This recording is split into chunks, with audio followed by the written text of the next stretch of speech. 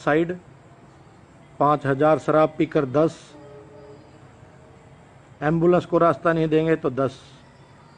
और लाइसेंस के पाँच हज़ार, आरसी के पाँच हज़ार, पॉल्यूशन के दस हज़ार, इंश्योरेंस के दो हज़ार। दोस्तों, मैं आपको बताना चाहूँगा, अगर आपका कहीं चलान कट जाए, आपको लगे कि मेरा यहाँ चलान कट गया और बहुत ज़्यादा का हो गया, आप घबराएँ मत, बिल्कुल मत घबराएँ।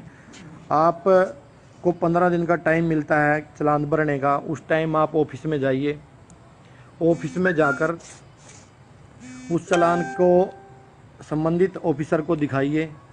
दिखाने के बाद जो डॉक्यूमेंट आप पेश करेंगे, जितने भी डॉक्यूमेंट आप, जिनका आपका चलान कटा हुआ है संबंधित अधिकारी को दिखाएँगे तो उसमें से उसमें से आपके जैसे लाइसेंस का पाँच हज़ार का कट गया और आपका लाइसेंस घर रह गया था, वो आप दिखाएँगे तो सिर्फ़ सौ रुपये आर सी पाँच हज़ार है, अगर वो आप दिखाएँगे तो भी सौ रुपये पॉल्यूशन दस हज़ार है आर सी दिखाएँगे तो सौ रुपये इससे आप बिल्कुल निश्चिंत निश्चिंत रहिए, क्योंकि अभी मैं आपको बताना चाहूँगा, जागरूकता की कमी के कारण कुछ लोग पूरा चलान भर रहे हैं। जागरूकता की कमी के कारण कुछ लोग पूरा का पूरा चलान भर देते हैं और उससे क्या होता है कि जैसे ही वो चलान भरेंगे तो उनके पूरे पैसे लगेंगे। लेकिन मैं आपको बताता हूँ चेक इन के दौरान यदि वाहन के डॉक्यूमेंट नहीं होने के चालान होता है तो उसके कागजात चेक कराकर रद्द करवा सकते हैं।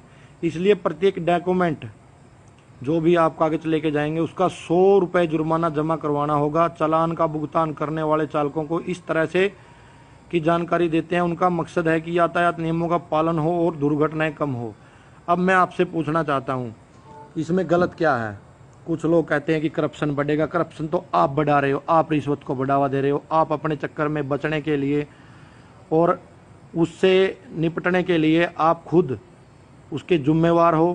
क्योंकि यार एक बात बताइए मुझे, हेलमेट हज़ार रुपए का लगा लो वो आपकी खोपड़ी की सेफ्टी करेगा, आपके परिवार की सेफ्टी करेगा, आपके ऊपर आपका पूरा परिवार डिपेंड करता है। लेकिन हम अपने लालच में कि कोई नहीं, जानकार होगा, कोई पुलिस वाला छटवा देगा या कोई और छुटवा देगा, अब ऐसा नहीं चलेगा।